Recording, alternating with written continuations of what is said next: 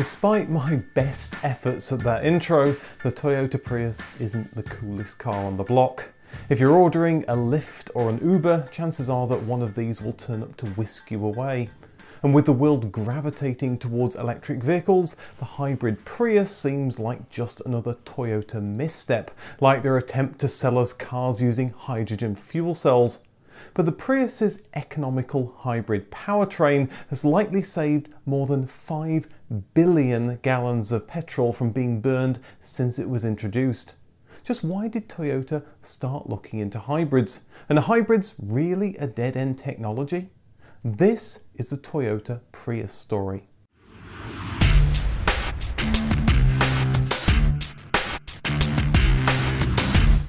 The Prius wasn't the first hybrid, far from it. Ferdinand Porsche created the Lohner-Porsche mixed hybrid at the end of the 19th century. Each wheel had an electric motor powered by batteries, and those batteries were charged by a generator that ran on petrol. But with petrol being cheap and the nascent state of battery technology, hybrid cars didn't make a lot of sense until the advent of better batteries and higher petrol prices. In 1993, the US government started an initiative to encourage car makers to make mainstream full-size cars dramatically more fuel efficient. Toyota applied to join this initiative, but it quickly became clear that this had been set up as an American boys-only club for Ford, GM and Chrysler, and funding would only be given to them. The big three car makers made some progress, and the gains spooked Toyota. They'd spent decades fighting for market share in the world's biggest auto market and didn't want to see one or all of Detroit's finest create a car that would beat Toyota's own Camry on fuel economy. The American high-miling prototypes were using diesel engines with an electric motor and batteries to get up to 80 miles per gallon, including regenerative braking to recharge the batteries. But in truth, Toyota already had a program looking into a low emission vehicle, the Earth Charter, that was a reaction to the late 1980s concern over global warming. The Earth Charter was repurposed to take on Detroit's new cars that were looking into hybrid technology. Toyota's engineers used two key documents to help them, a 1942 book on torque converters by American Peter Heldt and a 1969 technical paper from TRW who'd invented a novel hybrid system after being given US government money to look into cleaner engines in the 1960s. Around that time, GM had demonstrated various EV concepts, including a hybrid, and I talk a little bit about it in my video about 1960s and 70s EVs. So Japanese Toyota benefited from American know-how from the 1940s and 60s, in some cases paid for by the US taxpayer, but that's not to denigrate Toyota's engineers. They were smart enough to see improving battery technology made this technology usable. And there's years of hard work to turn a prototype, like that demonstrated by TRW, into something that can go into mass production and work day in, day out from Alaska to the Sahara. The solution they landed on threw out the regular gearbox and instead used two motor generators. They're called motor generators because they work both as motors to power the drive shaft to make the car move, but also as generators to slow the car and store the energy into batteries. The engine's also attached to the drive shaft, but the hybrid system allows it to run at an ideal rev range that optimizes fuel economy, or not at all if the car stopped or moving slowly. The ability to start or stop the engine easily had been pioneered by Toyota with the Crown in 1974, so they were already familiar with implementing it. This ingenious system of two motor generators and a planetary gear system that acted as a clutch of sorts produced a more efficient powertrain.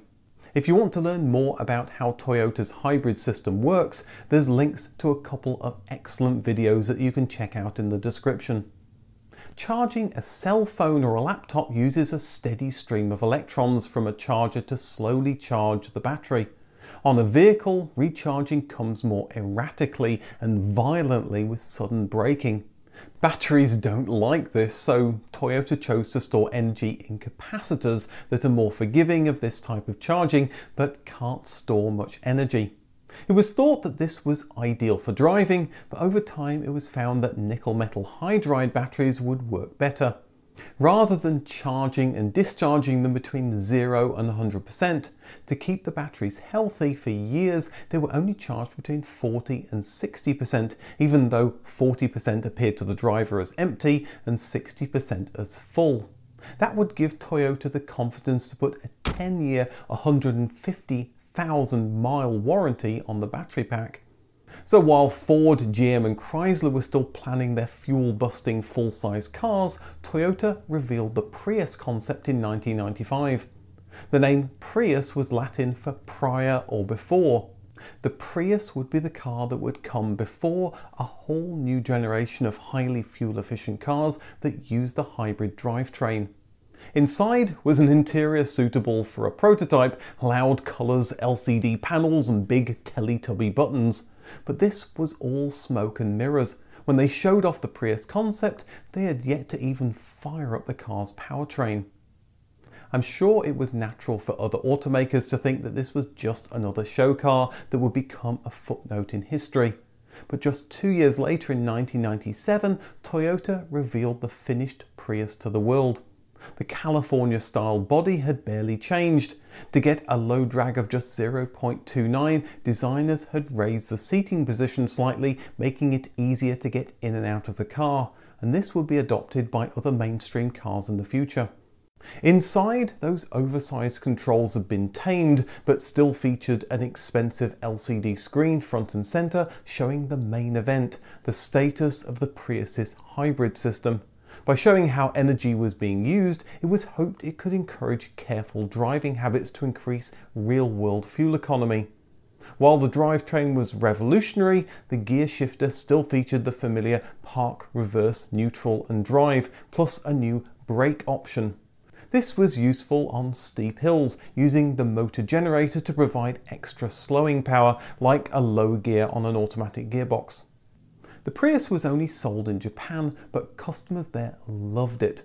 Competitors soon started importing them to find out just what Toyota was up to. The motoring press warmed to it, and the Prius went on to win many awards. It sold at a reasonable price, but rivals estimated it cost Toyota twice as much to produce it. But if Toyota was making a loss, they were undaunted and went all in on producing hybrids they could see costs coming down as economies of scale kicked in, and they predicted by 2005 hybrids would account for a third of all cars produced.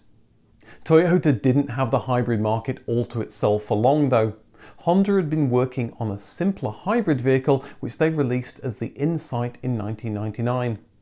Where the Prius could get to combine 58 miles per imperial gallon, the Insight could get 64 from its tiny three-cylinder 1-litre engine. The Insight's engine was so small and the car was so light that YouTube channel Robot Cantina used a lawnmower engine in one with very cool results. Check it out in the link in the description. But Honda's Insight was less practical, with just two seats and a hypermiling shape. Honda was quick to export their new car, beating Toyota to the punch. But like the fable of the tortoise and the hare, the first off the line doesn't always win the race. Sales of the two-seater Insight never reached the levels of the five-seater Prius. Honda lost money on each one sold and ended production in 2006, replacing it with a direct Prius competitor in 2010. Although sales of the initial model had been modest, this all seemed to be according to Toyota's plan, who was still working to make their hybrid system bulletproof. As testing got underway outside of Japan, it became clear that the Prius wasn't happy in hot climates and at high altitudes. Toyota's temporary fix was to tell the driver to pull over when the Prius was having problems, but it's clear they needed to produce a better solution. By 2000, a few improvements had been introduced and the power of the engine and the hybrid system had been increased.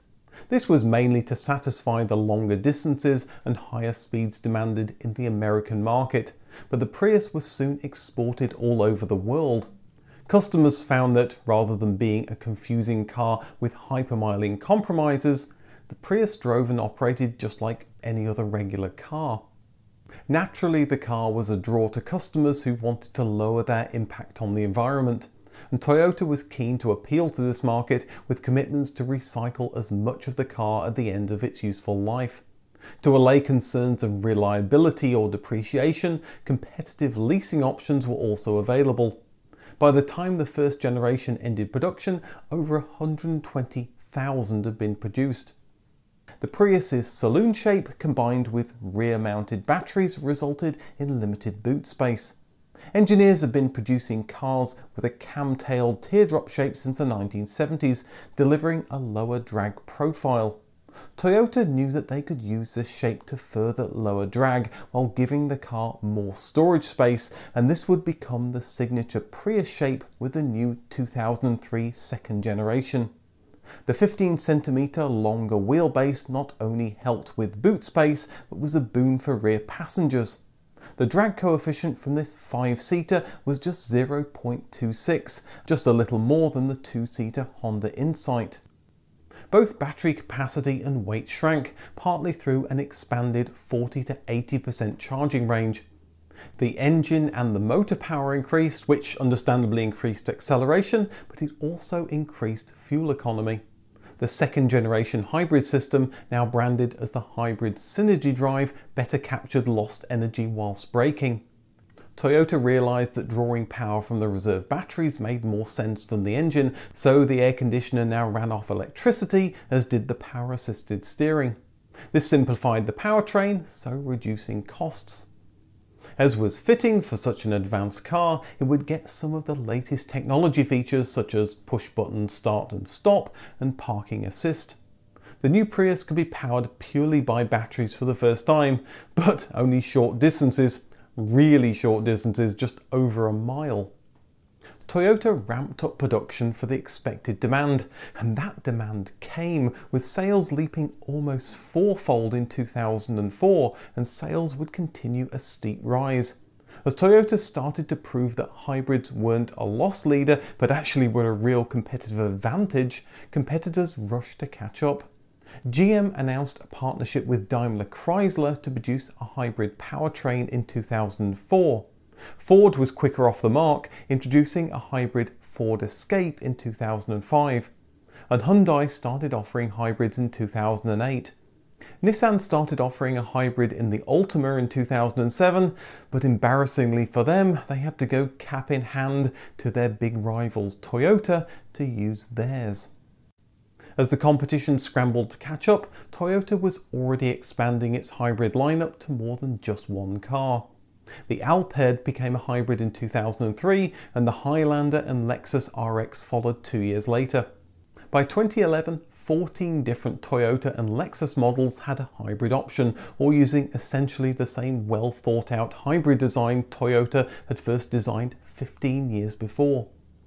If there's an award for the most inappropriate tie-in, it should probably be given to the Prius GT concept. The fuel-sipping car was stripped of all essential gear, tuned, given beefier 16-inch wheels, and a roll cage and painted in the colours of the Toyota Formula One team. Or given the Formula One team's lacklustre performance, maybe it was supposed to be their new race car. Regardless, this fevered creation was, at least according to Toyota, only ever meant to be a concept. The Prius got a small update in 2005 with a slightly revised front end, higher resolution LCD screen, option of a backup camera and side curtain airbags, but the Prius stayed mainly the same. Quite right too as sales were booming. The second generation sold about 10 times more than the first generation over roughly the same time period. That meant Toyota had to get the third generation Prius right. Outside, it looked almost the same as the previous generation, but Toyota again managed to reduce drag. It went on a diet with various parts now made of aluminium, but with more modern conveniences like a heads-up display and radar cruise control, the new car actually weighed more. To continue to sell to drivers concerned about the environment, Toyota used greener bioplastics derived from wood and grass. But although it looked very similar to the previous car, the chassis was all new and was shared between many other vehicles, including the latest generation Corolla, which would get its own hybrid version by 2013. A novel new feature was a solar powered roof that powered a fan to reduce heat buildup when the car was parked, and the driver could use it to power the air conditioning before they got into the car. It was originally intended to charge the battery as well, but engineers found doing so caused interference with the radio. Under the hood, the hybrid system was overhauled yet again, with 90% of the components redesigned. The 1.5 litre engine was expanded to 1.8 litres, producing more power, yet despite this larger engine, the Prius went even further on a full tank. The larger engine increased torque, reducing engine revs which produced better fuel economy at highway speeds. With an electric water pump, the engine got rid of the final accessory belt, again further simplifying the car. LED lighting further reduced electric draw, new eco and power modes allowed the driver to choose between fuel economy and performance, although we're talking about the Prius here so don't get your hopes up about that power mode.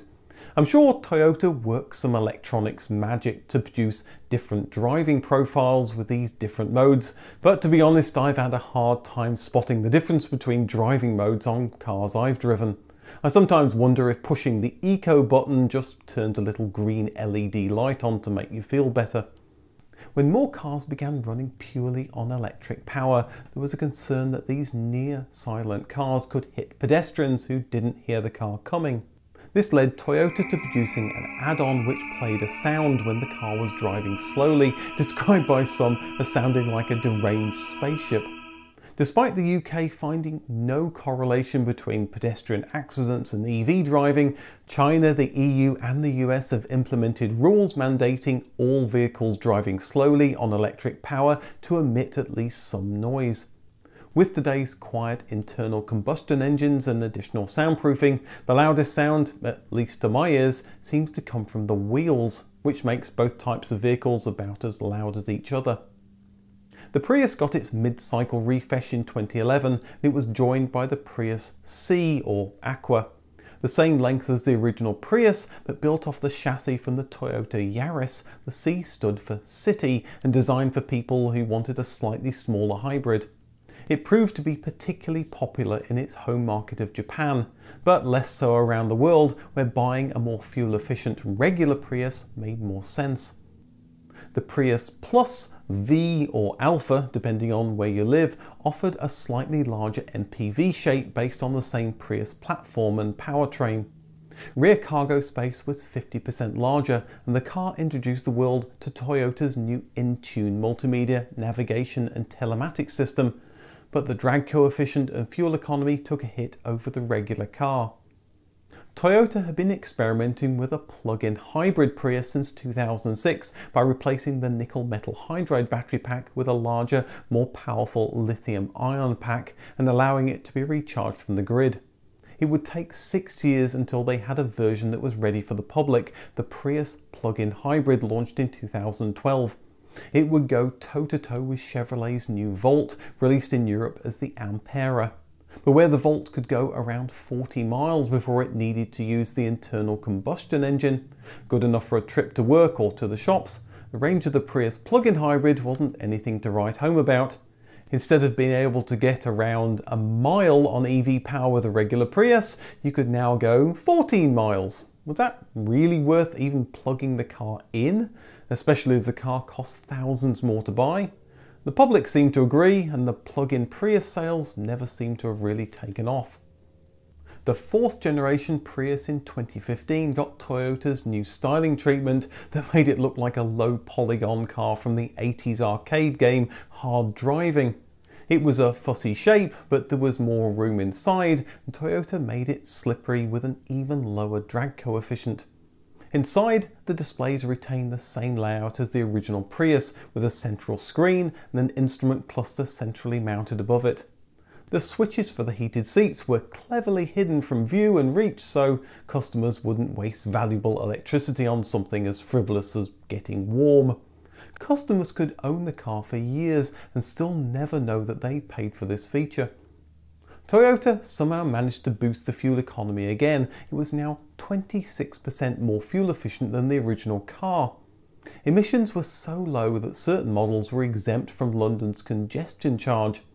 Performance wasn't its strong suit, but it could still accelerate to 60 in 10.5 seconds. But old rival Honda had produced the new Insight that had very similar figures and cost less. The competition had finally caught up. Toyota's head start and expansion of its hybrid technology to other models meant that by 2016 they'd sold over 10 million hybrids over 28 different models. It continued to experiment with a 2019 prototype plastered with solar panels. Toyota claimed it could get 27 miles on electricity if left out in the sun all day. So is this hybrid business really worth it? In the 80s and 90s, customers flocked to diesels because although they were more expensive to buy, over the life of the car they saved you money. But is this true with hybrids? I'm based in the USA where fuel is cheap, so let's compare the cost to buy an internal combustion engine car and a hybrid, put fuel in both of them to travel 36,000 miles over three years, and then sell them. I haven't included maintenance costs and I've assumed the price of petrol to be $3. If I bought a Toyota Camry, I'd have saved $1,200 by buying the hybrid version. I'd also save money with the Avalon and the RAV4, but for the larger Highlander and for Hondas and Hyundais, it's quite the opposite. You'd actually pay more for buying a hybrid. Europe, of course, is a very different matter. If I offered you petrol for $3 a gallon, you'd bite my hand off. Right now, petrol is going for more than double that at around £5.50 a British gallon. I had a harder time trying to find petrol and hybrid comparisons. The best I could find was comparing the Honda CRV over two years, but even if you sell it after just two years, you'd be £2,300 better off if you plumped for the hybrid. The high price for fuel, the flight away from fuel efficient diesels and cheaper hybrid drivetrains mean that if you want to buy a Toyota Yaris, Corolla, CHR, RAV4, Camry or a Highlander, you can only get a hybrid drivetrain as there isn't enough demand for less fuel efficient standard drivetrains. Purely petrol models are reserved for inexpensive tiny cars like the Aygo or full-blooded monsters like the Supra. Nissan, who's been resisting hybrids for years, announced a major investment strategy into next generation hybrids in 2021. Even Ford, who took the US government's money in the 1990s to make fuel efficient cars, has copied Toyota, and five of its eight mainstream vehicles all come as a hybrid. In the third quarter of 2020, over 10% of all cars sold in Europe used a hybrid powertrain. Of course, with so many Toyotas and Lexi using hybrid engines, where does that leave the Prius? Has it fulfilled its purpose of to come before? Well, in a sense it has. With the Corolla and Prius sharing the same chassis and drivetrain, there's very little difference between the two. But the Prius has a place in people's minds as a car that puts fuel economy first, and Toyota clearly feels there's still a place for the brand. The thing that sparked my interest to do this video was a news article that Toyota was finally getting on the EV bandwagon. Toyota's been spending 25 years on hybrids and fuel cells that now seem like a dead end. Surely they've seen the error of their ways now that Tesla seems to be so far ahead on next generation electric powertrains, and now they're scrambling to catch up. Well, I'm not so sure. In the late 1990s, Toyota made a bet that they could make hybrids so cheap that it would be madness not to choose one. That day, in countries that have expensive fuel at least, seems to have arrived. Yes, they need to catch up with EV technology, but they've got a head start with their in-depth knowledge of motor generators and small hybrid battery packs, or larger plug-in hybrids. And despite what some governments are promising, the world isn't going to go to just EVs anytime soon. Many car owners keep their cars at the side of the road, and the infrastructure to charge all these cars overnight isn't going to happen overnight. And no one has yet produced a battery pack that can be charged as fast as it takes to fill up a petrol car. Nissan seems to agree that hybrids are a good stepping stone to reducing our reliance on fossil fuels. Hybrids, at least today, seem like they were the right bet. The Prius wasn't the first hybrid to get up to 80 miles per gallon, including regenerative. That's a difficult word. T, need T. Batteries don't like this, so Toyota chose to store energy in. The name Prius was Latin for prior or before. The Prius would be the car that would become that would give Toyota the confidence to put a 10 year, 150,000 mile warranty on the battery pack. That just sounds wrong. That would give Toyota the confidence to put a 10 year, 150,000 mile warranty on the battery pack. That's two takes it still sounds bad. So while Ford, GM and Chrysler were still planning their fuel-busting full-size cars, Toyota revealed, why can't I say Toyota? This is a problem. If I can't say Toyota on a video about the Prius, I've got problems. You know, if I actually read the words on the script, it would be easier. I missed out a word there. The engine and motor power increased, which understand. Oh la la. Running out of tea. The same length as the original Prius, but built off the Toyota Yaris chassis Yaris chassis. That is hard to say.